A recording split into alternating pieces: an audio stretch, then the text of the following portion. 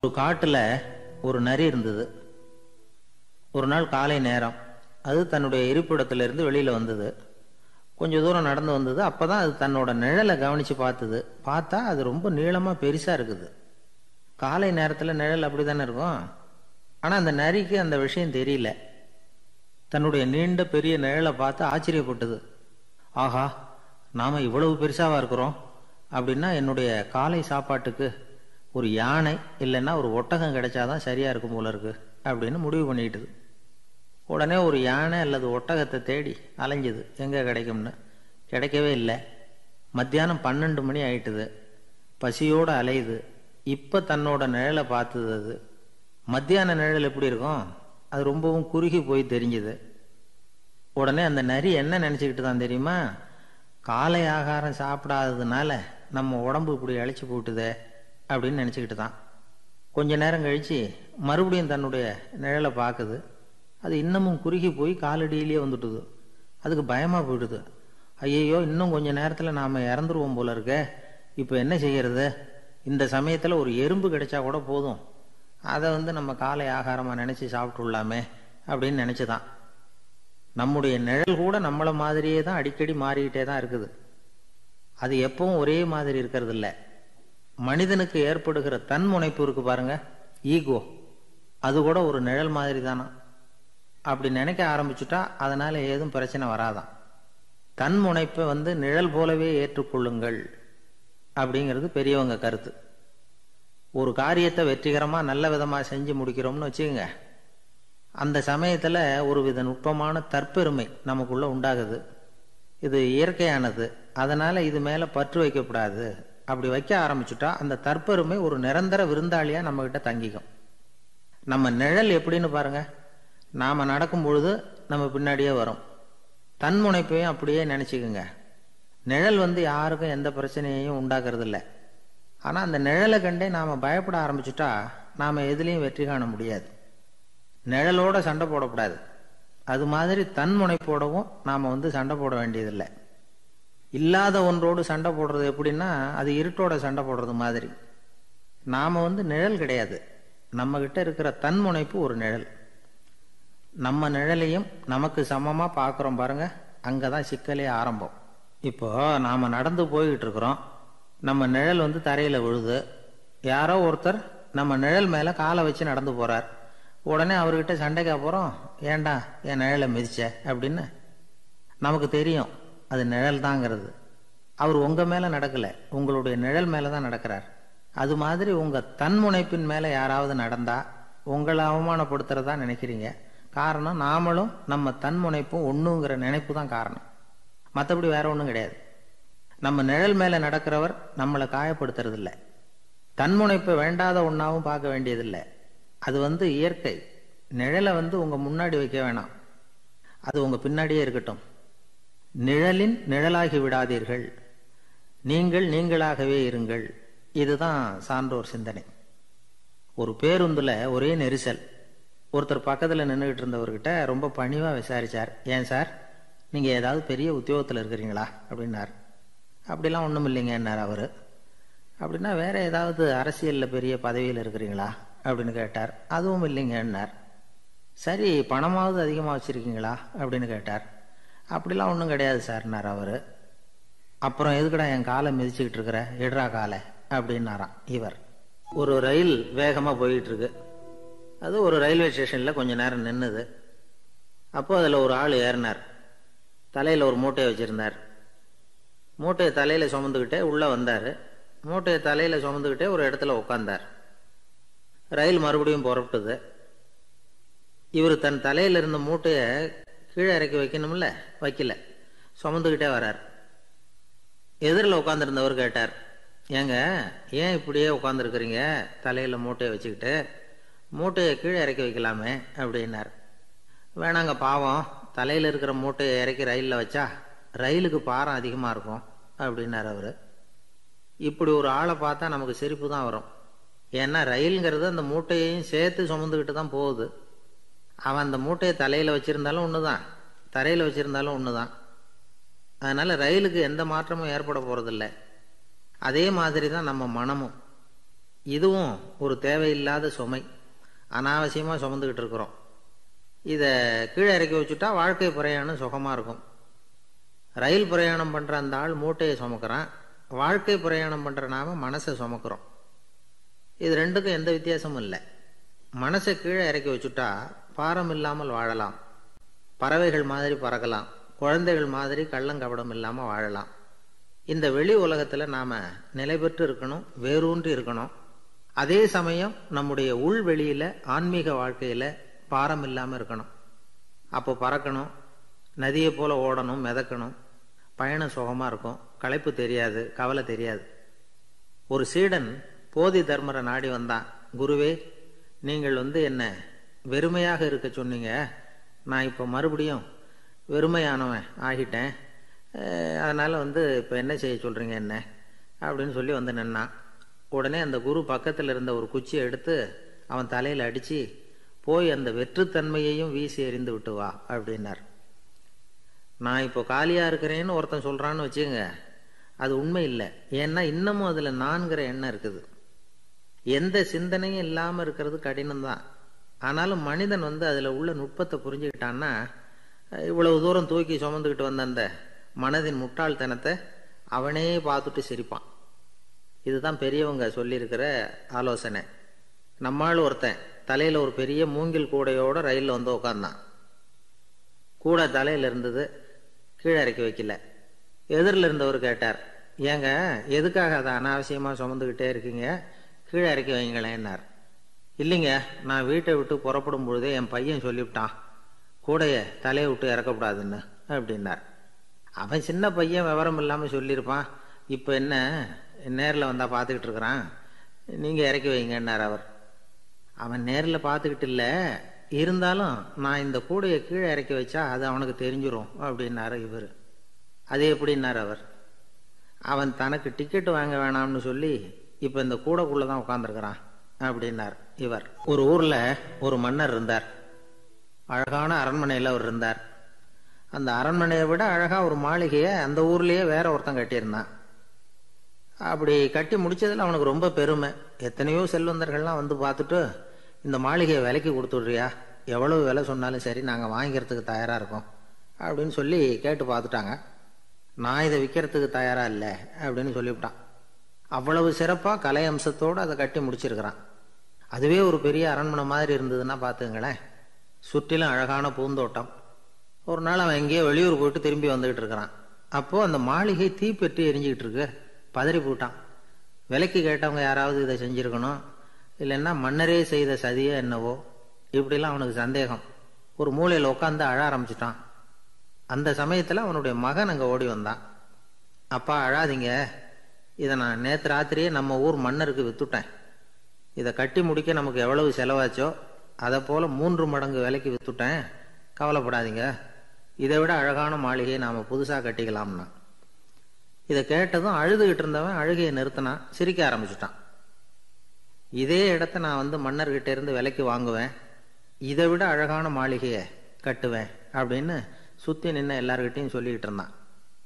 இந்த சமயத்தில் அவனோட இளைய மகன் ஓடி வந்தான். அப்பா அண்ணன் சொன்னதெல்லாம் சரிதான். மன்னர்கிட்ட விலை பேசினதெல்லாம் உண்மைதான். ஆனால் வித்தது பேச்சு அளவில் தான். இனிமே தான் பத்திரம் வாங்கணும் எழுதணும். நீங்கள் கையெழுத்து போடணும் பதிவு பண்ணணும். மன்னர்கிட்ட பணம் வாங்கணும். அதுக்காகத்தான் உங்களை எதிர்பார்த்துக்கிட்டு இருந்தோம். அதுக்குள்ளே இப்படி ஆயிட்டுதுன்னா. இப்போ சிரிச்சுக்கிட்டு இருந்தவன் சிரிப்பை நிறுத்தினான். மறுபடியும் குழந்த மாதிரி அழ ஆரம்பிச்சிட்டான். இது ஒரு சம்பவம். இதுலேருந்து என்ன தெரியுது? அந்த அழகான மாளிகை தன்னுடையது அப்படின்னு நினைக்கும் பொழுது அவனுக்கு அழுகை வந்தது. அது தன்னுடையது இல்லை அப்படின்னு நினைக்கிற போது சிரிப்பு வந்தது. மறுபடியும் அது தன்னுடையது தான் அப்படிங்கிற உணர்வு வரும்பொழுது அழுகை. எது எதிலிருந்து நீ நீங்கி இருக்கிறாயோ அது அதிலிருந்து உனக்கு துன்பம் இல்லை அப்படிங்கிறார் திருவள்ளுவர். இந்த உடம்பு என்னுடையதில்லை அப்படிங்கிற உணர்வு வந்துட்டா அது ஒரு பெரிய நிலை. அந்த நிலை வந்து வரணும். எல்லாத்தையும் பயன்படுத்திக்கலாம். ஆனால் பற்றில் விழுந்துடக்கூடாது உலகத்தில் இருங்கள் ஆனால் உலகத்தவராக இருக்காதீர்கள். உலகிற்குள் இருங்கள் உலகம் உங்களுக்குள் வந்துவிட அனுமதிக்காதீர்கள். விலகி இருங்கள் விழித்திருங்கள் மௌனமாய் பார்த்திருங்கள் அப்படிங்கிறது சான்றோர் கருத்து. செய்ய வேண்டிய கடமையிலிருந்து விலகி இருக்கிறவர்கள் நம்மக்கிட்ட நிறைய பேர் உண்டு. அப்படிப்பட்ட ஒருத்தர் டாக்டர் கிட்ட போனார். டாக்டர் நான் ஒரு கவர்மெண்ட் ஆஃபீஸில் வேலை பார்க்குறேன். எனக்கு ஒரே அசதியாக இருக்குது என்னை சோதிச்சு பாருங்க ஆலோசனை சொல்லுங்க ஏதாவதுன்னார். டாக்டர் அவரை பரிசோதனை பண்ணி பார்த்துட்டு சொன்னார். இதை பாரு உனக்கு இப்போ தேவைப்படுறது முழு ஓய்வு. நீ எவ்வளவு சீக்கிரமாக ஆஃபீஸுக்கு போறியோ அவ்வளவுக்கு உனக்கு நல்லது அப்படின்னாராம். எனக்கு தெரிஞ்ச ஒருத்தர் இருக்கார். அவர் ஒரு பெரிய காவல்துறை அதிகாரி. ரொம்ப கண்டிப்பானவர். அவரை கண்டாவே எல்லாரும் பயப்படுவாங்க. அப்படிப்பட்டவர் வீட்டுக்கு போனால் அப்படியே அடியோட மாறிடுவார். அங்கே போய் பார்த்தீங்கன்னா குழந்தைகளோட குழந்தையா அவர் விளையாடிக்கிட்டு இருப்பார். அலுவலக சமயத்தில் பார்த்தீங்கன்னா குதிரை முதுகில் அவர் உட்காந்துருப்பார் வீட்டில் பார்த்தீங்கன்னா அவர் முதுகில் குழந்தை உட்காந்துருக்கும் அவர் குதிரை மாதிரி போயிட்டு இருப்பார். இது எப்படிங்க முடியுது உங்களால் அப்படின்னு கேட்டாங்க. அது ஒன்றும் இல்லை இங்கே வீட்டுக்கு வந்த உடனே என்னோட மனசை தனியாக எடுத்து வச்சுருவேன் அப்படின்னார். அது என்னங்க உங்கள் சட்டப்பயிலியாக இருக்குது மனசு? அது தனியாக எடுத்து வைக்கிறதுக்கு அப்படின்னு கேட்டாங்க. அப்படி இல்லைங்க இது ஒரு பயிற்சி மனப்பயிற்சி அவ்வளவுதான் அப்படின்னார். இப்படி சமயம் பார்த்து மனசை தனியாக வச்சுவிட தெரிஞ்சவங்க வாழ்க்கையில் எப்பவும் உற்சாகமாக இருப்பாங்க அப்படிங்கிறது பெரியவங்க கருத்து. ஒரு டாக்டர் ஆஸ்பத்திரியில் இருக்கிற வரைக்கும் டாக்டராக இருக்கலாம். அவர் மனைவிகிட்டையும் அவர் டாக்டராக இருக்க வேண்டிய அவசியம் இல்லை. ஒரு வக்கீல் வந்து கோர்ட்டில் இருக்கிற வரைக்கும் வக்கீலாக இருக்கலாம். வீட்டுக்கு வந்ததுக்கு அப்புறமும் வக்கீலாக இருக்க வேண்டிய அவசியம் கிடையாது. வீட்டில் வந்து குழந்தைகள்கிட்ட விளையாடும் பொழுதும் அதுகள்கிட்ட ஃபீஸு கேட்டுக்கிட்டு இருக்கக்கூடாது நாம் எப்படி இருக்கணும்னு பெரியவங்க சொல்கிறாங்கன்னா மனசோட சேரக்கூடாதான் அப்படி சேராமல் வாழ்க்கையை கவனிக்கணுமா? மனசை அப்படியே தனியாக எடுத்து பக்கத்தில் வச்சுடணும். அப்படின்னா அதை அப்படியே தூக்கி எரிஞ்சுடு அப்படின்னு அர்த்தம் இல்லை ஏன்னா மனசுங்கிறது நமக்கு உபயோகப்படக்கூடிய ஒன்று தான் எப்போ எப்போ அது தேவையோ அப்பப்போ எடுத்து உபயோகப்படுத்திக்கணும். தேவைப்படுறப்போ எடுத்து கண்ணாடியை மாட்டிக்கிறோம்ல? படிக்கும் பொழுது கண்ணாடி தேவைப்படுது எடுத்து மாட்டிக்கிறோம் இல்லையா? அது மாதிரி. கணக்கு போடுறதுக்கு மனசு தேவை. கடைக்கு போய் ஒரு பொருள் வாங்குகிறோம் காசு கொடுக்குறோம் மீதி சில்லற சரியாக இருக்கா அப்படின்னு எண்ணி பார்த்து வாங்க வேண்டியிருக்கு. அந்த சமயத்தில் மனசை எடுத்து தனியாக வச்சுட்டேன் அப்படின்னு சொல்லிகிட்டு இருக்கக்கூடாது பரீட்சைக்கு படிக்க வேண்டியிருக்குது. படித்ததையெல்லாம் அப்படியே நினைவில் வச்சுக்க வேண்டியிருக்கு. அந்த சமயத்தில் மனசை தூக்கி எறிஞ்சுட்டேன் சார் அப்படின்னு சொல்லிகிட்டு இருக்கக்கூடாது அப்படி சொன்னால் பரீட்சை நம்மளை தூக்கி எறிஞ்சிரும். அதனால் தேவைப்படுறப்போ மனசை உபயோகப்படுத்தணும். தேவையில்லாதப்போ அதை தனியாக ஓய்வு எடுத்துக்க விட்டுடணும் இப்படி நாம் பழக்கப்படுத்திக்கிட்டா வாழ்க்கைங்கிறது நமக்கு புதுசாக தெரியுமா? மனசுக்கும் ஒரு சக்தி கிடைக்கும். எந்திரங்களுக்கு ஓய்வு கொடுக்குற மாதிரி மனசுக்கும் ஓய்வு கொடுக்கணும். இல்லைன்னா அது களைச்சி போயிடும். குழந்தைகள் மனசை சுமந்துக்கிட்டு இருக்கிறது இல்லை. இது வந்து முதியவர்கள் குழந்தைகள்கிட்ட இருந்து கற்றுக்க வேண்டிய ஒரு பாடம். ஆனாலும் இந்த கால குழந்தைகள்கிட்ட ரொம்ப எச்சரிக்கையாக இருக்க வேண்டியிருக்கு. ஒரு தாத்தாவும் பேரனும் விளையாடிக்கிட்டு இருக்கிறாங்க. தாத்தா எனக்கு சைக்கிள் ஓட்ட கற்றுக் கொடு அப்படிங்கிறான் பேரன். சைக்கிள் உயரம் கூட இல்லை அதுக்குள்ளே சைக்கிள் ஓட்டணுமா? அப்படின்னார் தாத்தா. ஏன் தாத்தா ரயில் ஓட்டுறாரே அவர் என்ன ரயில் நீளமாக இருக்கார்? அப்படின்னு கேட்டானா அந்த பையன். ஒரு நல்ல நகைச்சுவை எப்படி இருக்கணும்? இதுக்கு ஒவ்வொருத்தர் ஒவ்வொரு மாதிரியான விளக்கத்தை கொடுத்துருக்குறாங்க. ஆனால் கலைவாணர் என். எஸ். கிருஷ்ணன் கொடுக்குற விளக்கம் என்ன தெரியுமா? நகைச்சுவைங்கிறது அடுத்தவங்களுக்கு துன்பம் கொடுக்காம இருக்கணும். அடுத்தவங்க மனசை புண்படுத்தக்கூடாது. அதுதான் சிறந்த நகைச்சுவை அப்படிங்கிறார். அதுக்கு அவர் உதாரணமும் கொடுக்குறார். ஒரு ஏரி ஓரமாக ரெண்டு பசங்க நடந்து போய்கிட்டு இருக்கிறாங்க. அதில் ஒருத்தன் பணக்கார வீட்டு பையன் இன்னொருத்தன் ஏழை. இவங்க ரெண்டு பேரும் போய்கிட்டு இருக்கிறாங்க. வழியில் ஒரு இடத்துல ஒரு ஜோடி செருப்பு இவங்க கண்ணில் படுது. ஒரு விவசாயி அந்த செருப்பை அங்கே விட்டுட்டு பக்கத்தில் இருந்த ஏரியில் கை காலை கழுவிட்டு இருக்கிறார். உடனே அந்த பணக்கார பையனுக்கு ஒரு ஐடியா. அவன் சொன்னானா டேய் இப்போ ஒரு வேடிக்கை செய்யலாம். அந்த செருப்பு ரெண்டையும் தூக்கி எட்டத்தில் வீசி எரிஞ்சிருவோம். அந்த ஆள் வந்து பார்த்துட்டு செருப்பை தேடி அல்லாடுவான். அங்கேயும் இங்கேயும் ஓடுவான். திரு திருன்னு முழிப்பான். அதை பார்த்து நாம் ரசிக்கலாம். நல்ல தமாஷா இருக்கும். அப்படின்ருக்கான் இப்படி சொல்லிவிட்டு அந்த செருப்புகளை தூக்கத்துக்கு போனானா. கொஞ்சம் பொறு அப்படின்னானா அந்த ஏழை பையன். ஏன்னு கேட்டிருக்கான் அவன். இப்போ அந்த ஏழை பையன் சொன்னானா நீ சொல்கிறது ஒன்றும் வேடிக்கை கிடையாது. உன்னோட செருப்பு தொலைஞ்சா உன் அப்பா உடனே உனக்கு வேறு செருப்பு வாங்கி கொடுத்துருவார். ஆனால் அந்த ஆளுக்கு இந்த செருப்பு தொலைஞ்சதுன்னா வேறு புதுசாக வாங்குறதுக்கு வாயையும் வயத்தையும் கட்டி பணத்தை சேர்க்க வேண்டியிருக்கும். அதனால் நான் ஒரு வேடிக்கை சொல்கிறேன் அது மாதிரி செய். அது இன்னமும் தமாஷா இருக்கும் அப்படின்னு நானா எப்படி அது சொல்லுன்றிருக்கான் அவன். செருப்பு ரெண்டும் அது இருக்கிற இடத்துலயே இருக்கட்டும். உன் சட்டப்பையிலிருந்து ஒரே ஒரு ஒரு ரூபா நாணயத்தை எடு. அதை அந்த செருப்பு மேலே அதோட குதிகால் பகுதியில் வச்சுட்டு நாம் ரெண்டு பேரும் அந்த மரத்துக்கு பின்னாடி ஓடி போய் மறைஞ்சு நின்றுக்குவோம் அப்புறம் பாரு வேடிக்கைய அப்படின்னா. அதே மாதிரி ஒரு ரூபா காசு செருப்பு மேலே வச்சுட்டு இவங்க ரெண்டு பேரும் மறைஞ்சு நின்றுக்கிட்டாங்க கொஞ்ச நேரத்தில் அந்த விவசாயி வந்தார். காலில் உள்ள மண்ணை தட்டிவிட்டு செருப்பை மாட்டுறதுக்காக போனார். அங்கே இருந்த காசு கண்ணில் போட்டுட்டுது. அவருக்கு ஆச்சரியமாக போச்சு. அதை கையில் எடுத்து பார்க்குறார் நாலு பக்கமும் திரும்பி திரும்பி பார்க்குறார் யார் இதை வச்சிருப்பான்னு? கடைசியில் ஆகாயத்தை பார்க்குறார் ஆண்டவா இது உன்னோட கருணை தான் நீ தான் யாரோ புண்ணியவான் மனசில் தர்மம் பண்ணுற எண்ணத்தை உண்டாக்கி இருக்கிற. அந்த புண்ணியவான் நல்லா இருக்கணும் அப்படின்னு வாழ்த்தி அந்த காசை கண்ணில் ஒத்திக்கிட்டாராம் மறைஞ்சிருந்து பார்த்துக்கிட்டு இருந்த ஏழை பையன் இப்படி சொன்னான். பாத்தியா உன்னை புண்ணியவான்னு வாழ்த்திவிட்டு போறார் அந்த ஆள். அவருக்கும் சந்தோஷம். அதை பார்த்து நமக்கும் சந்தோஷம். உனக்கு ஒரு ரூபாங்கிறது ஒரு பெரிய விஷயம் இல்லை. ஆனால் அதனால் நமக்கு கிடைச்சிருக்கிற மகிழ்ச்சி ரொம்ப உயர்வானது அப்படின்னு நானும் வேடிக்கையும் கிண்டலும் இது மாதிரி அடுத்தவங்களுக்கு இடைஞ்சலாக இல்லாமல் இருக்கணும் அப்படிங்கிறார் கலைவாணர். ஆனால் பாருங்க அவருக்கே இடைஞ்சலாக வர்ற விஷயங்களை கூட அவர் வேடிக்கையாக தான் எடுத்துக்கிட்டாராம். ஒரு தடவை ஒருத்தர் கலைவாணர்கிட்ட வந்து ஐயா என் குழந்தை செத்து போச்சு அப்படின்னு சொல்லி அழுதாரான் உடனே இவர் அவருக்கு நூறுரூவா பணத்தை கொடுத்து இந்தாங்க அடக்கம் செய்யுங்க அப்படின்னு சொல்லி அனுப்பி வச்சாராம். ஒரு வருஷம் கழிச்சு மறுபடியும் அதே ஆள் வந்திருக்கார். இவர் மறந்துருப்பாருங்கிற நினப்பில் அண்ணே என் குழந்தை இறந்து போச்சுண்ணே அப்படின்னாராம். இவர் மறுபடியும் நூறுரூபா கொடுத்து ஆறுதல் சொல்லி அனுப்பி வச்சாராம். ஏழு எட்டு மாதம் கழித்து மறுபடியும் அதே ஆள் வந்திருக்கார். அவர் வாயை திறக்கிறதுக்கு முன்னாடியே இவர் நூறுரூபாய் அவர் கையில் வச்சு போன ரெண்டு தடவை தான் குழந்தை செத்து போச்சு. இந்த தடவையாவது அதை சாகாமல் காப்பாற்றி விடு அப்படின்னு சொல்லி அனுப்பி வச்சாராம் அதுக்கப்புறம் அந்த ஆள் வர்றதே இல்லையா. ஒரு ஊரில் ஒரு ஆள் இருந்தான். தையல் கடை வச்சுருந்தான். அவன்கிட்ட ஒருத்தன் ஒரு சட்டை துணி எடுத்து கொடுத்து தைக்க சொல்லியிருந்தான். வர்ற சனிக்கிழமை வா வந்து வாங்கிட்டு போ அப்படின்னு அவன் சொல்லியிருந்தான். அதே மாதிரி அவன் வந்தான். அவன் தச்சு வச்சிருந்த சட்டையை கொடுத்தான். இவன் வாங்கி அங்கேயே போட்டு பார்த்தான். கை நீளம் ஒன்றுக்கு ஒன்று வித்தியாசமாக இருந்தது. வலது கை இடது பக்கத்தை விட நீளம் குறைச்சலாக இருந்தது. இவன் முணுமுணுக்க ஆரம்பிச்சிட்டான். என்ன இது இப்படி தைச்சு விட்டியே அப்படின்னு. இதுக்கு அவன் சொன்னான் ஐயையே இதுக்காகவா சங்கடப்படுறீங்க? வலது கையை மட்டும் கொஞ்சம் உள்ளே இழுத்தாப்புல வச்சுக்கிட்டிங்கன்னா சரியாக போடும். மற்றபடி அந்த சட்டையில் உள்ள கலை அம்சத்தை கவனிங்க. எவ்வளோ அற்புதமாக தைச்சிருக்கேன் பாருங்கள் ஒரு சின்ன குறைய பொருட்படுத்தாதீங்க.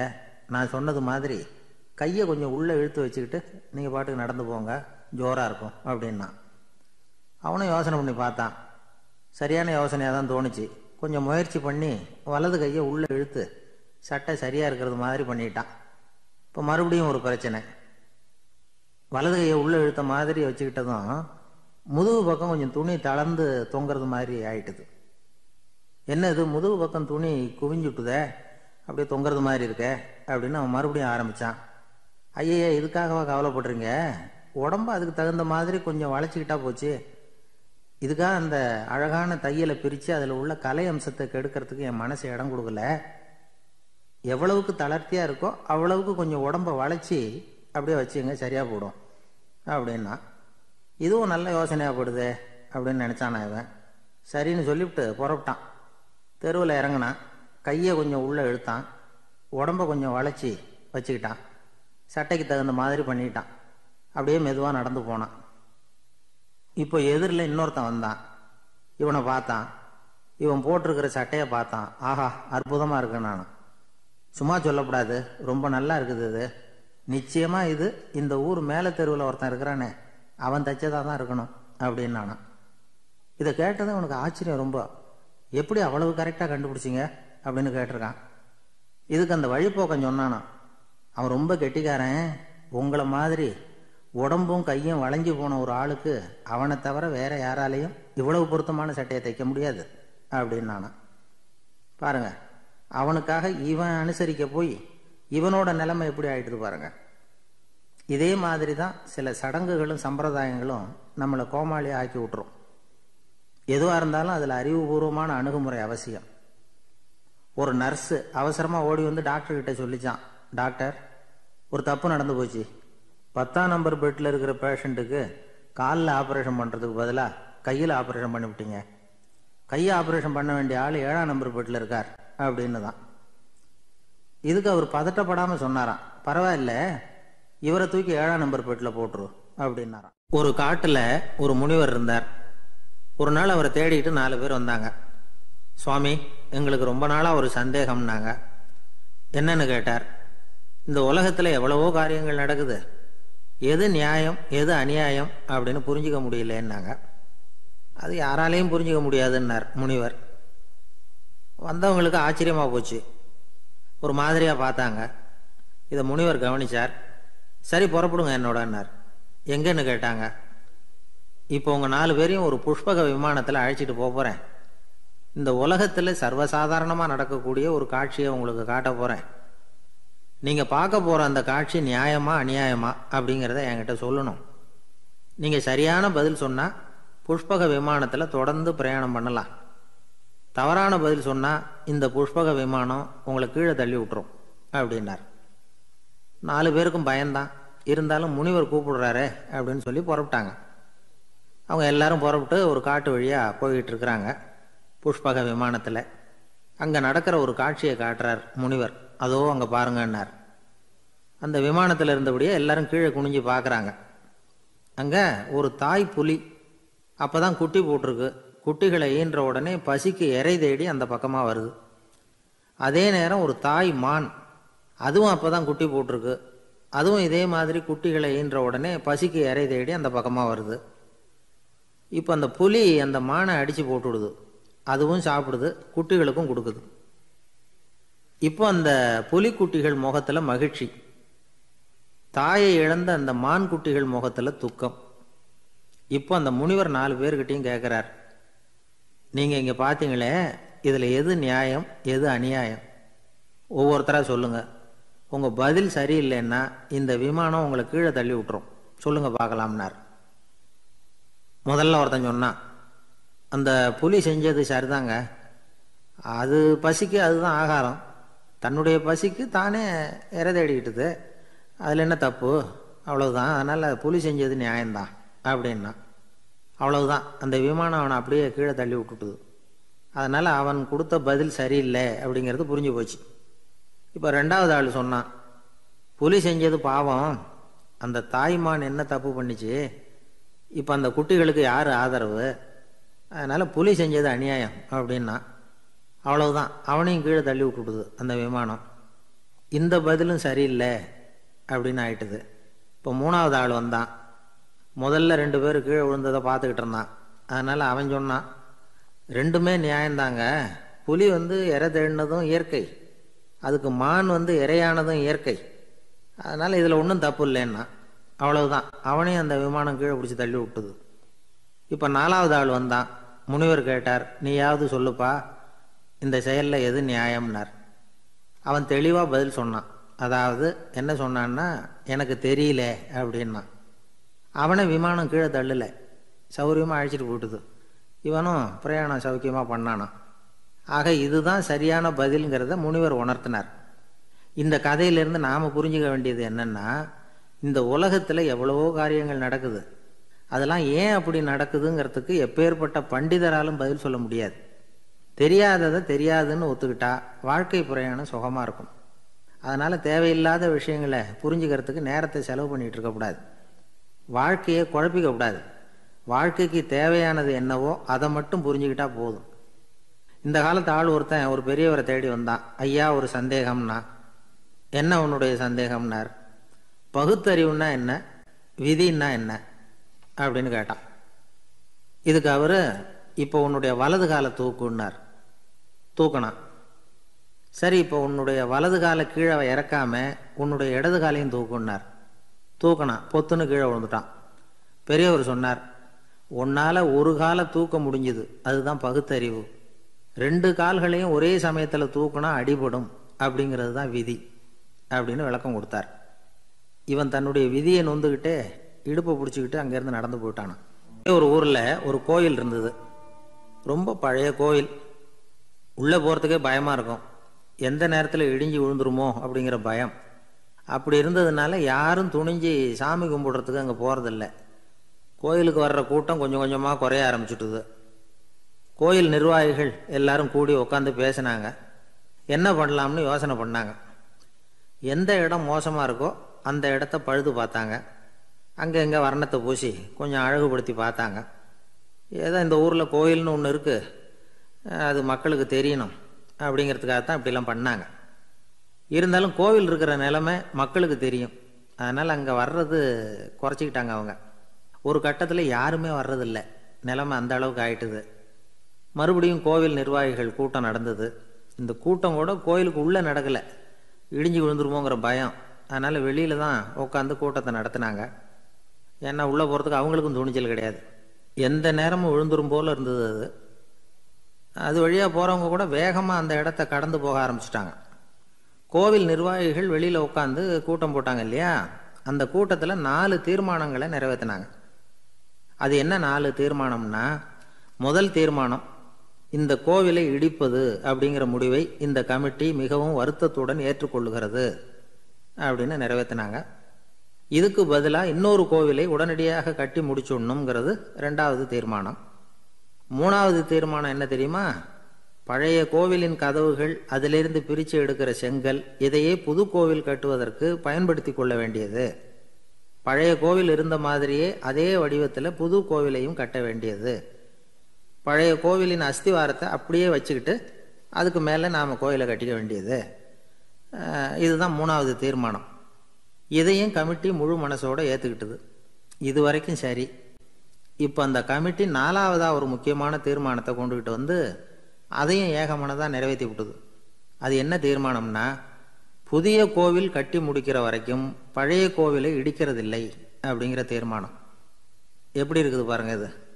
பழசை இடிக்காத வரையில் அதே இடத்துல புதுசாக எப்படி கட்ட முடியும்? பல விஷயங்களில் நாம் நடந்துக்கிற முறையும் இப்படி தான் இருக்குதான். வாழ்க்கையில் முன்னேறணும்னு ஆசைப்படுவோம். அதே நேரத்தில் அந்த முன்னேற்றத்துக்கு எது தடையாக இருக்கோ அதை விட்டு விடுறதுக்கும் மனசு வராது. வெளிநாட்டில் ஒரு பெரிய விருந்து நடந்துக்கிட்டு இருந்துதான் எல்லாரும் மது கோப்பையும் கையுமா அலைஞ்சிக்கிட்டு இருக்கிறாங்க. ஒருத்தர் மட்டும் கையில் எதுவும் இல்லாமல் ரொம்ப நல்ல பிள்ளையா சாதுவா ஒரு ஓரமாக தனியாக உட்காந்துருக்கிறார் அவர்கிட்ட நெருங்கி வாங்க மது சாப்பிட்லாம் அப்படின்னு கூப்பிட்டாங்களாம். என்னை வற்புறுத்தாதீங்க. நான் என் மனசுக்குள்ளே உறுதியாக தீர்மானம் பண்ணிவிட்டேன் அப்படின்னாராம். என்ன தீர்மானம் பண்ணியிருக்கீங்க? அப்படின்னு கேட்டிருக்காங்க. ஏற்கனவே முழு போதையில் இருக்கும் பொழுது மறுபடியும் மது கோப்பையை தொடரதில்லை அப்படின்னு தீர்மானம் பண்ணியிருக்கேன் அப்படின்னாராம். ஒரு ஊரில் ஒரு பெரியவர் இருந்தார். ஒரு நாள் அவரை தேடி ஒருத்தர் வந்தார். ஐயா நான் கடவுளை பரிபூர்ணமாக நம்புகிறேன் அப்படின்னார். சரி அந்த நம்பிக்கை உனக்கு எப்படி வந்ததுன்னு கேட்டார் இவர். அவர் சொல்ல ஆரம்பித்தார் ஐயா எனக்கு கல்யாணம் ஆகி பத்து வருஷம் ஆச்சு. ஆனாலும் குழந்த பாக்கியம் இல்லை. அதுக்கு என்ன காரணமாக இருக்கும்னு நான் யோசனை பண்ணிகிட்டு இருந்தப்போ நண்பர் ஒருத்தர் ஒரு ஆலோசனை சொன்னார். உனக்கு மதப்பற்று இல்லை. எந்த கடவுளையுமே நம்ப மாட்டேங்கிற. அதுதான் காரணம். கடவுளை நம்பு. உனக்கு குழந்த பாக்கியம் கிடைக்கும். அப்படின்னார். அவர் அப்படி சொன்னாரே தவிர எனக்கு சந்தேகம்தான். இருந்தாலும் அவர் சொன்னபடியும் நடந்து தான் பார்ப்போமே அப்படின்னு முடிவு பண்ணேன் கடவுளை நம்ப ஆரம்பித்தேன் அந்த வருஷமே அழகான ஆண் குழந்தை பிறந்தது. எல்லாம் இறைவன் அருள். அப்படின்னார். இவர் இப்படி சொன்னதை கேட்டதும் அந்த பெரியவர் சொன்னார். நீ சொல்கிறதெல்லாம் சரிதான். இருந்தாலும் இந்த காலத்தில் எந்த ஒரு காரியமாக இருந்தாலும் அதை சோதனை செஞ்சு பார்த்துட்டு தான் ஒரு முடிவுக்கு வந்து சேர முடியும். அறிவுபூர்வமான முடிவு அதுவாக தான் இருக்கும். அறிவியல் சோதனைகள் அப்படித்தான். ஒரு குறிப்பிட்ட விஷயத்தை பற்றி எத்தனை தடவை சோதனை பண்ணாலும் ஒரே முடிவு தான் கிடைக்கணும். அதுதான் சரியாக இருக்கும். அதனால் இப்போ மறுபடியும் ஒரு சோதனை என்னார்? என்ன செய்யணும் அப்படின்னு கேட்டார் இவர். கடவுள்கிட்ட ஒரு பெண் குழந்தை வேணும்னு கேளு. முதல்ல ஆண் குழந்தையை கொடுத்தது மாதிரியே இப்போ ஒரு பெண் குழந்தையையும் கொடுக்குறாரா பார்க்கலாம் அப்படின்னார். சரின்னு சொல்லி இவர் அதே மாதிரி முயற்சி பண்ணினார். அதுக்கப்புறம் அவர் இந்த பெரியவர்கிட்ட வரவே இல்லை. கொஞ்ச காலம் கழித்து இவரே அவரை தேடிக்கிட்டு போய் கதவை தட்டினார். அவர் கதவை திறந்தார். என்ன ஆச்சு கடவுள் கண் திறந்தாரா? அப்படின்னு கேட்டார். அவர் அந்த சமாச்சாரம்லாம் நமக்கு வேணாம் சார். முதல் தடவை அது ஏதோ தற்செயலாக ஏற்பட்ட ஒரு சாதகம். இப்போ நீங்கள் ரெண்டாவது தடவை சொன்ன பிறகு தினமும் கடவுளை வேண்டிக்கிட்டு தான் இருக்கிறேன். ஒன்றும் நடக்கலை அப்படின்னார் ரொம்ப விரக்தியாக ஒரே ஒரு தோல்வியில் உங்கள் நம்பிக்கையெல்லாம் பறந்து போயிடுது பார்த்தீங்களா அப்படின்னார் அந்த பெரியவர். எல்லாம் நல்ல விதமாக நடக்கிற வரைக்கும் நம்பிக்கை. எதிர்பார்த்தது தோல்வியில் முடிஞ்சுட்டுதுன்னா அவநம்பிக்கை. மற்றவர்கள் பேரில் வைக்கிற நம்பிக்கை எந்த நேரத்திலையும் விவகாரமாகி விடக்கூடிய சாத்தியம் உண்டு. நாம் நம்பிக்கை வைக்க வேண்டியது நம்ம தான். நமக்குள்ளே இருக்கிறார் கடவுள். எனவே நம்ம பேரில் நாம் வைக்கிற நம்பிக்கை தான் உண்மையான கடவுள் பக்தி. நிபந்தனையற்ற நம்பிக்கையாக அது இருக்கணும். எல்லாம் நல்லபடியாக நடந்துக்கிட்டு இருந்தால் எந்த முட்டாளுக்கும் நம்பிக்கை வரத்தான் செய்யும் அப்படிங்கிறது ஒரு பெரிய ஒரு கருத்து. தியானத்தின் மூலமாக தான் உனக்குள்ள ஆழமாக தோண்டுனா உன்னுடைய அடி ஆழத்தில் நம்பிக்கை வந்து அப்படி ஊற்றெடுக்கும் அதை பார்க்க முடியும் அப்படிங்கிறது பெரியவர்கள் சிந்தனை. ஒரு குழந்தை அப்பாவை பார்த்து என்னப்பா பண்ணுறேன்னு கேட்டு தான் பிரார்த்தனை பண்ணிகிட்டு இருக்கிறேன்னாரான் அப்பா. பிரார்த்தனை பண்ணுனா என்ன கிடைக்கும் அப்படின்னு கேட்டுதான் குழந்தை. எல்லாம் கிடைக்கும் அப்படின்னாரான் அப்பா. நீ வச்சிருக்கிறிய பேனா அது கூட கிடைக்குமான்னு கேட்டுதான் குழந்தை. ஓ கிடைக்குமேன்னு இருக்கார் அப்படின்னா அந்த பேனாவை என்கிட்ட கொடுத்துரு. நீ பிரார்த்தனை பண்ணி வேற பேனா வாங்கிக்கோ அப்படின்னு தான் அந்த குழந்தை. ஒரு ஊரில் ஒரு குரு இருந்தார்.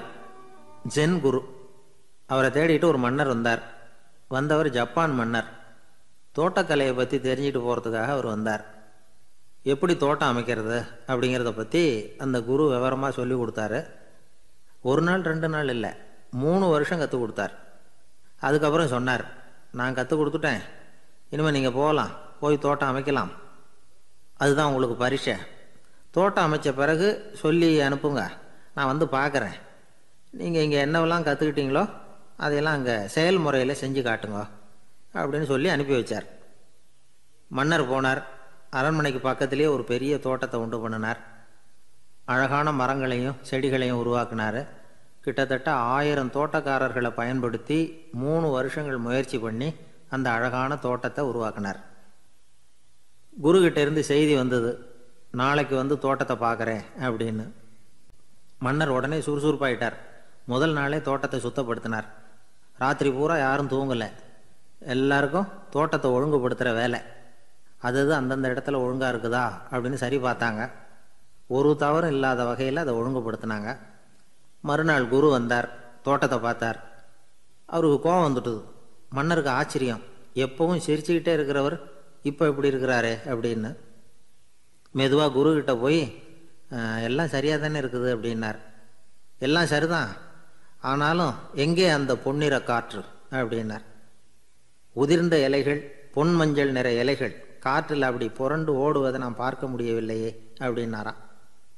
அது இல்லாமல் இந்த தோட்டம் உயிரோட்டம் உள்ளதாக இருக்காது. இதில் பாடல் இல்லை ஆடல் இல்லை. அதெல்லாம் இல்லாமல் இந்த தோட்டம் ரொம்பவும் செயற்கையாக தெரியுதேன்னாராம். மன்னர் இப்போ தான் யோசனை பண்ணார். கீழே கிடந்த காஞ்சி போன இலைகள் மட்டும் இல்லை மரத்தில் இருந்த காஞ்சி போன இலைகளையும் அப்புறப்படுத்தி சுத்தமாக வச்சிருக்கிறார். இறப்பும் வாழ்க்கையினுடைய ஒரு பகுதி தான் மரணம்ங்கிறது வாழ்க்கைக்கு எதிரானது அல்ல. அதை நிரப்பும் ஒரு பகுதி தான் அது. மரணம் இல்லையில் வாழ்க்கையே இல்லை அப்படிங்கிறது பெரியவங்க கருத்து. இப்போ அந்த தோட்டம் அழகாக தான் இருக்குது. இருந்தாலும் அது ஒரு ஓவியம் மாதிரி உயிர் இல்லாமல் இருக்கு. குரு ஒரு வாளியை கையில் எடுத்துக்கிட்டார். தோட்டத்தை விட்டு வெளியில் போனார். ஏற்கனவே வீசி எறிந்த அந்த சருகுகளை எல்லாம் அள்ளி கொண்டுகிட்டு வந்தார். உள்ள எல்லா இடங்கள்லையும் அதை வீசினார். உடனே காற்று அந்த காய்ந்த சருகுகளையும் பழுத்த இலைகளையும் அசைக்க ஆரம்பிச்சுட்டுது. இப்போ அங்கே சலசல சத்தம் சங்கீதம். இலைகளின் நடனம். ஓவியம் மாதிரி இருந்த அந்த தோட்டத்துக்கு இப்போ உயிர் வந்துட்டுது. இதுதான் அந்த பொன்னான காற்று அப்படின்னாராம் குரு. மன்னருக்கு புரிஞ்சுது. மிகப்பெரிய ஜென் கேள்வி ஒன்று உண்டு. உம்மான் அப்படிங்கிற ஒரு பெரிய குருவை பார்த்து துறைவு ஒருத்தர் கேட்டாராம். இலைகள் எல்லாம் கீழே விழுந்து மரங்கள் மொட்டையாக இருக்கும் பொழுது என்ன நடக்கும்? இதுதான் கேள்வி. இதுக்கு உம்மான் சொன்ன பதில் பொன்னான காற்று தி கோல்டன் விண்டு அப்படின்னாராம். இதுக்கு என்ன விளக்கம்னா உன்னுடைய எண்ணங்கள் எல்லாம் உன்னுடைய மனசிலிருந்து கீழே விழுந்து உனது உள்ளுணர்வானது மொட்டையாக நிற்கும் நிலைதான் அது. உனது வேர்களின் அருகில் காற்று வீசுகிறது. எல்லா எண்ணங்களும் உன்னிலிருந்து வெகு தூரத்துக்கு புரண்டு கொண்டே சென்று விடுகிறது. நீ அவற்றை கடந்து விட்டால் நீ அவைகளுக்கெல்லாம் மேலெழுந்து கீழே பார்ப்பவனைப் போல நிற்க ஆரம்பித்து விடுவாய். அதுதான் தியானம் என்பது அப்படின்னு சொல்கிறாங்க தியானம்ங்கிறது எண்ணத்துக்கு எதிரானதில்லை. தியானம்ங்கிறது எண்ணங்களை கடந்து செல்வது தான் அதுக்கப்புறம் நாம் வந்து பொன்னிற காற்றில் ஆட ஆரம்பிச்சிருவோம். இதுதான் பெரியவர்கள் சொல்கிறது என்கிட்ட ஒருத்தர் வந்து தோட்டம் அமைக்கணும்னு யோசனை கேட்டு வந்தார். எல்லாம் சொல்லி கொடுத்தேன். செடிகள்லாம் செழிப்பாக வளரணும்னா வேர் காயாமல் பார்த்துக்குங்க தினமும் தண்ணி விடுங்க அப்படின்னு சொல்லி அனுப்பி வச்சேன். ஒரு மாதம் கழித்து ஒரு தோட்டத்தை பார்க்கறதுக்காக போனேன். போய் பார்த்தா எல்லா செடியும் வாடி கிடக்குது. என்னங்க இப்படி பண்ணிவிட்டீங்கன்னு நீங்கள் சொன்னபடி தான் செஞ்சேன்னார். என்ன செஞ்சீங்கன்னு கேட்டேன். வேறு காயாமல் பார்த்துக்க சொன்னீங்க. தினமும் ஒரு தடவை எல்லா செடியையும் ஒவ்வொன்றா பிடுங்கி பார்த்து வேறு காயாமல் இருக்கா? அப்படின்னு பார்த்துட்டு அதுக்கப்புறம் தண்ணி பாய்ச்சினேன் அவ்வளவுதான் அப்படின்னார். ஒரு வயசான பாட்டியின் தாத்தாவும் ஒரு பூங்காவில் உட்காந்து பேசிக்கிட்டு இருக்கிறாங்க. அவங்களுக்கு கல்யாணம் ஆகி ஐம்பத்தி மூணு வருஷம் ஆச்சு. பிள்ளைங்கள்லாம் படித்து பெரிய பெரிய வேலையில் இருக்கிறாங்க. பேரன் பேத்திகளும் நல்ல நிலைமையில் இருக்கிறாங்க. இந்த தாத்தாவும் பாட்டியும் சிரித்து பேசிக்கிட்டு இருந்ததை ஒரு பெரியவர் பார்த்தார். அவருக்கு ஆச்சரியமாக இருந்தது. இந்த வயசுலேயும் இவ்வளவு அந்யோன்யமாக இவங்க பேசிக்கிட்டு இருக்கிறாங்களே அப்படின்னு நினச்சார். சரி நேரிலேயே கேட்டுருவோமே அப்படின்னு நினச்சிக்கிட்டு கிட்ட போனார். உங்கள் மன வாழ்க்கையின் வெற்றிக்கான ரகசியம் என்ன அப்படின்னு கேட்டார். இதை கேட்டதும் அந்த தாத்தா சிரிச்சுக்கிட்டே பாட்டியை பார்த்தாராம். அதுக்கப்புறம் சொன்னாராம் நான் இந்த அம்மாவை கல்யாணம் பண்ணிக்கிட்டதுக்கும் எங்களுடைய இல்வாழ்க்கை இவ்வளவு நாளாக பலம் குறையாமல் மகிழ்ச்சியாக இருக்கிறதுக்கும் காரணம் ஒன்று தான் அது என்ன காரணம்னா எங்களுக்கு இடையில பொதுவாக நிறைய குறைகள் உண்டு. அதுதான் காரணம் அப்படின்னாராம் அவர் சொல்கிறது சரிதான்.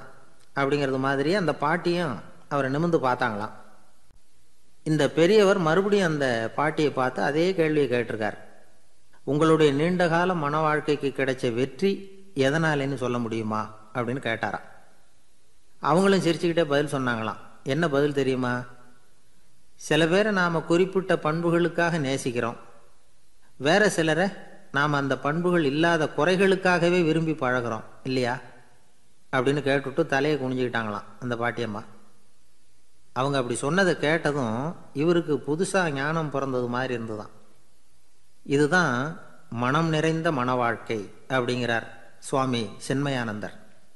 பண்புகளை எப்படி நேசிக்க முடியுதோ அதே மாதிரி பண்புகள் இல்லாத குறைகளையும் நேசிக்க முடியும். மனசு தான் காரணம். ஒரு மேல்நாட்டு தம்பதி அவங்களும் தாத்தா பாட்டி தான். அவங்க ரெண்டு பேரும் ஒரு பூங்காவில் உட்காந்து சிரித்து பேசிக்கிட்டு இருக்கிறாங்க. அதை ஒருத்தர் பார்த்தார். அவருக்கு ஆச்சரியம். இவ்வளவு காலம் ஆகி இந்த வயசுலேயும் இப்படி அன்பாக பேசிக்கிட்டு இருக்கிறாங்களே அப்படிங்கிற ஆச்சரியம். கிட்ட நெருங்கி போனார் கேட்டார் ஏன் தாத்தா உங்களுக்கு கல்யாணம் ஆகி எவ்வளோ வருஷம் ஆச்சுன்னார்? ஐம்பத்தஞ்சு வருஷம் ஆச்சுன்னாராம் அவர். இன்னமும் இவ்வளவு சந்தோஷமாக இருக்கிறீங்களே அதுக்கு என்ன காரணம்னு கேட்டிருக்கார். அதுக்கு என்ன காரணம்னா இது வரைக்கும் எங்களுக்குள்ள சண்டையே வந்ததில்லை அப்படின்னாராம். அது எப்படி முடியும்னு கேட்டிருக்கார் இவர் ஆச்சரியமா. அந்த தாத்தா சொல்ல ஆரம்பிச்சாராம். இதை பாருப்பா எங்களுக்கு கல்யாணம் ஆன புதுசில் நானும் என்னுடைய மனைவியும் ஒரு குதிரை மேலே ஏறி ஒரு காட்டு வழியாக போய்கிட்டு இருந்தோம். கொஞ்சம் தூரம் போனதும் அந்த குதிரை இடக்கு பண்ணிச்சு. நான் உடனே கீழே இறங்கி அந்த குதிரையை பார்த்து இது உனக்கு முதல் தடவை அப்படின்னு மிரட்டலாக சொல்லிவிட்டு ஏறி உக்காந்தேன். மறுபடியும் போனோம். கொஞ்சம் தூரம் குதிரை நல்லபடியாக நடந்து போச்சு. மறுபடியும் இடக்கு பண்ண ஆரம்பிச்சுட்டுது. நான் கீழே இறங்கினேன். கையில் இருந்த சாட்டையால் ஓங்கி ஒரு அடி கொடுத்தேன். இது உனக்கு ரெண்டாவது தடவை அப்படின்னு சொல்லிவிட்டு ஏறி உக்காந்தேன். மறுபடியும் குதிரை கொஞ்சம் தூரம் நல்ல விதமாக நடந்து போச்சு. அப்புறமும் இடக்கு பண்ண ஆரம்பிச்சுட்டுது. அந்த சமயத்தில் ஒரு ஆற்று பாலத்தை கடந்து போய்கிட்டு இருக்கிறோம்.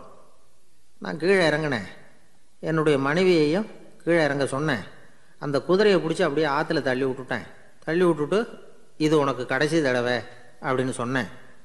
அதை பார்த்ததும் என் மனைவி பதறி போயிட்டாங்க. போய் ஐயோ பாவம் என்ன இப்படி பண்ணிவிட்டீங்க உங்களுக்கு மனசில் கொஞ்சம் கூட இறக்கமே இல்லையா? அப்படின்னாங்க. நான் மெதுவாக இவங்க பக்கம் திரும்பி இது உனக்கு முதல் தடவை அப்படின்னேன் அவ்வளவுதான்.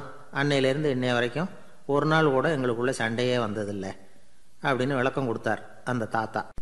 ஒரு ஆள் வேகமாக நடந்து போய்கிட்டு இருந்தான். அவன் வேகமாக நடக்கிறதுக்கு காரணம் வெயில் காலம். காலில் செருப்பு இல்லை. மணல் பாதை. அதுதான் வேகம்.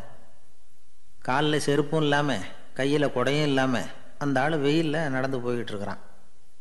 அந்த சமயத்தில் இன்னொருத்தன் குதிரை மேலே ஏறி அந்த வழியாக வந்துக்கிட்டு இருக்கிறான்.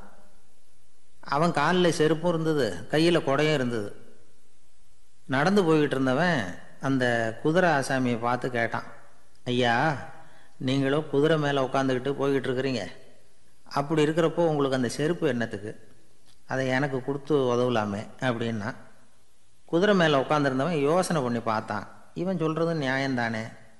அப்படின்னு சொல்லி தன்னுடைய செருப்பை கழட்டி அந்த வழிபோக்கனுக்கு கொடுத்துட்டான். ரொம்ப நல்லதுங்க அப்படின்னு சொல்லி இவன் அதை வாங்கி காலில் மாட்டிக்கிட்டான். அதுக்கப்புறம் மறுபடியும் இவன் ஆரம்பித்தான் ஐயா நீங்கள் வந்து குதிரையில் போகிறதுனால போக வேண்டிய இடத்துக்கு வேகமாக போய் சேர்ந்துருவீங்க. அதனால் உங்கள் கையில் அந்த குடை என்னத்துக்கு? நான் நடந்து போயிட்டுருக்கிறவன் ரொம்ப நேரம் நடக்க வேண்டியிருக்கும். இந்த வெயிலில். அதனால் அந்த குடையையும் எனக்கு கொடுங்களேன் அப்படின்னா. குதிரை வீரன் யோசனை பண்ணி பார்த்தான். இதுவும் நியாயம்தானே அப்படின்னு அவனுக்கு தோணுச்சு. உடனே இறக்கப்பட்டு தன் காலில் இருந்த செருப்பை கொடுத்தது மாதிரியே தன் கையில் இருந்த கொடையையும் இவங்கிட்ட கொடுத்துட்டான். அதுக்கப்புறம் அவன் நிம்மதியாக புறப்பட்டான். இப்போ மறுபடியும் கை தட்டி அவனை நிறுத்தினான். கீழே நின்றுட்டு இருந்தவன் என்னப்பா ஏன் என்னை நிறுத்தின? இன்னும் ஏதாவது வேணுமா உனக்கு? அப்படின்னா குதிரையில் இருந்தவன். இவன் மெதுவாக வாயை திறந்து அந்த குதிரையையும் என்கிட்ட கொடுத்துருங்களேன்னா அந்த குதிரை வீரன் இப்போ ஒரு கணம் யோசனை பண்ணி பார்த்தான். உடனே என்ன பண்ணான் தெரியுமா? தன்கிட்ட இருந்த குதிரை சவுக்கை எடுத்தான். குதிரை சவுக்கால் அந்த ஆளை வாங்குவாங்கன்னு வீசி தள்ளிவிட்டான். இவ்வளவு சவுக்கடியும் வாங்கிக்கிட்டு இந்த ஆள் என்ன பண்ணான் தெரியுமா? சிரிக்கிறான். அடி வாங்கிட்டு யாராவது சிரிப்பாங்களா? குதிரை வீரனுக்கு ஒன்றும் புரியல. என்னப்பா அது? ஏன் இப்படி அடி வாங்கிட்டு இப்படி சிரிக்கிறியே? அப்படின்னு கேட்டான். இப்போ அந்த வழிப்போக்கம் சொல்கிறான் ஐயா நான் இப்படி சிரிக்கிறதுக்கு காரணம் இருக்கு. இப்படி குதிரை கேட்டு உங்ககிட்ட அடி வாங்கலைன்னு வச்சுக்கோங்க. என் உயிர் உள்ள வரைக்கும் மனசில் ஒரு தவிப்பு இருந்துக்கிட்டே இருக்கும். செருப்பையும் கொடையையும் கேட்ட உடனே கொடுத்தவன் குதிரையையும் கேட்டிருந்தா கொடுத்துருப்பானோ? அப்படிங்கிற பேராசையில் ஏங்கிக்கிட்டே இருந்திருப்பேன். இப்போ உங்ககிட்ட அடி வாங்கின பிறகு என்னுடைய அந்த சந்தேகம் தீர்ந்து போச்சு. என்னுடைய ஆசைக்கு எல்லை எது அப்படிங்கிறத எனக்கு புரிஞ்சுட்டுது அப்படின்னு சொல்லிவிட்டு அவன் நடக்க ஆரம்பிச்சிட்டானான். ஆசைக்கும் எல்லை உண்டு அப்படிங்கிறத விளக்கறதுக்காக வாரியார் சுவாமிகள் சொல்கிற கதை இது. இந்த காலத்துலேயும் ஒருத்தன் அது மாதிரி கொடை செருப்போட குதிரையில் போய்கிட்டு இருந்தான். எதிரில் நடந்து வந்தவன் ஐயா உங்கள் கொடையை எனக்கு கொடுங்களேன்னு கேட்டான். உடனே அவன் குதிரையிலேருந்து கீழே குதிச்சு அவனை சாட்டையால் அடிக்க ஆரம்பிச்சிட்டான். இன்னொருத்தர் அந்த வழியாக வந்தவர் இதை பார்த்தார். ஏன்பா அவன் கேட்டான் உன்னால் முடியலன்னா இல்லைன்னு சொல்லிட வேண்டியது தானே அதுக்காக ஏன் இப்படி அவனை போட்டு அடிக்கிறேன்னு கேட்டார். உங்களுக்கு விவரம் புரியாது சார். காலம் ரொம்ப கெட்டு போச்சு. கேட்டதை கொடுத்தேன்னு வச்சுக்கோங்க.